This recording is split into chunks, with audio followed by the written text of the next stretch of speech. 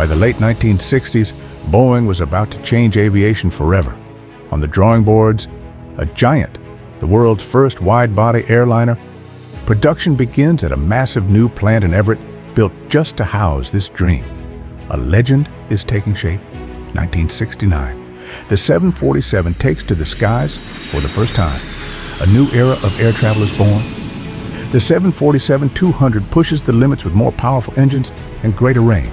The 747 SP, a shortened variant, sets new records in long-haul travel and opens up ultra-long routes. Enter the 747-300. A longer upper deck makes it more iconic, more spacious, unmistakably a jumbo jet. Inside, the golden age of flying, carpets, lamps, cigarette smoke, and room to stretch your legs. Then came the 747-400, the most successful and recognizable of them all. Airlines around the world race to fly her. Old dials give way to sleek glass displays. Flying becomes simpler, quieter, more precise. A majestic night takeoff, the roar of four engines, the gentle lift. This aircraft was made to inspire. Passenger luxury fades. Raw power takes over.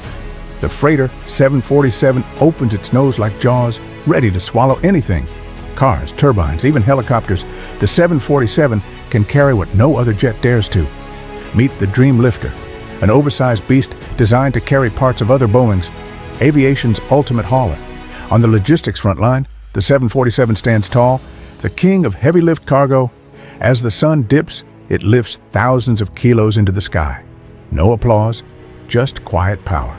A new age demands a new form. The 747-8 evolves gracefully. Same soul, new body.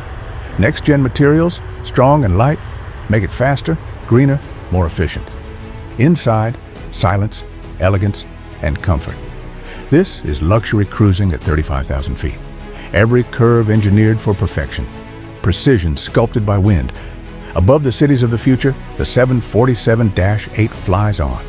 A symbol of what humans can build. Four engines, four beating hearts pushing this titan through the sky. Above the clouds, only light and silence. A journey through decades and dreams. From first to last, a timeline of innovation. Each model, a chapter of progress. Past meets present. A lounge where cigars once smoked now serves champagne, but it's still the same Boeing. They call him the king of the skies, and even in farewell, he still wears the crown.